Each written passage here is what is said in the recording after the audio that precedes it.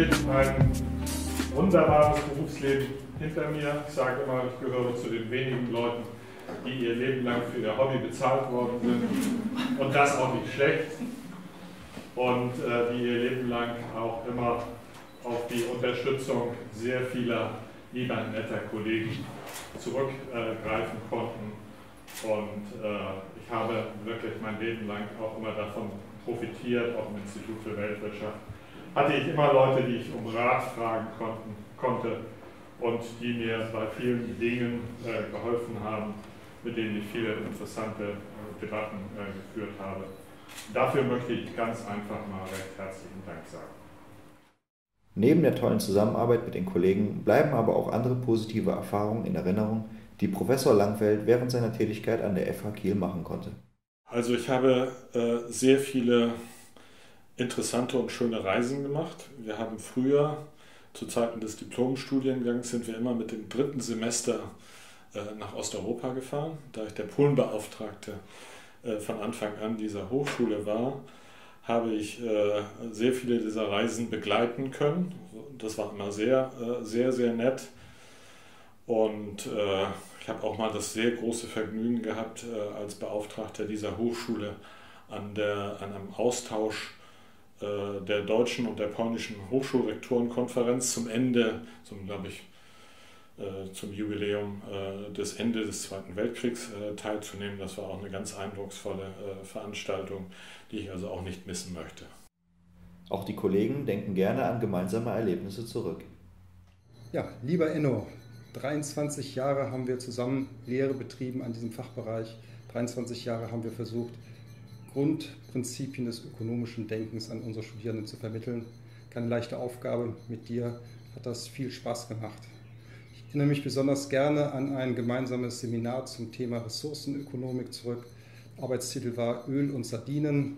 Ich glaube, das war ein hervorragendes Beispiel für das, was heute unter Co-Teaching firmiert.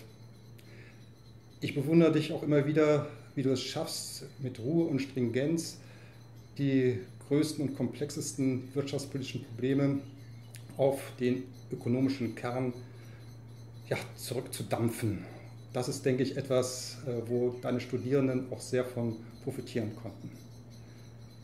Ja, ich danke dir für die tolle Zusammenarbeit als Freund und Kollege in diesem Institut und wünsche dir alles Gute. Etwas überrascht äußerte sich Enno Langfeld hingegen über die aktuelle Entwicklung der Studierenden an der FH Kiel. Als ich anfing, 1984, mein erster Lehrauftrag, es gab keine Stunde, wo ich nicht sagen musste, so, Schluss der Debatte, seit fünf Minuten kein neues Argument, Feierabend, wir noch weiter im Stoff. Ja, heute ist das, ja, ich, ich, ich, ich, stelle, ich stelle mich hin und diskutiere mit mir selber. Und selbst wenn es Themen gibt, die die Studierenden betreffen, wie, was weiß ich, Veränderungen im Rentensystem, wo völlig klar ist, wer das bezahlen muss, äh, selbst dann äh, kommen sie nicht aus sich raus. Was mir auch aufgefallen ist, äh, ist, dass immer weniger Studierende schon berufliche Erfahrungen haben. Es war früher also sehr viel einfacher. Heute muss man zum Teil schon erklären, was ein Unternehmen ist und was es macht. Äh, und äh, Sie können sich auch vorstellen, dass äh, junge Menschen, die schon Berufserfahrungen sind, auch in der Regel etwas zielstrebiger sind. Die wissen ganz genau, was sie, was sie wollen. Für sie ist Zeit ein sehr viel knapperer Faktor. Sie möchten dann auch sehr viel schneller fertig werden. Also den Eindruck hatte ich auch.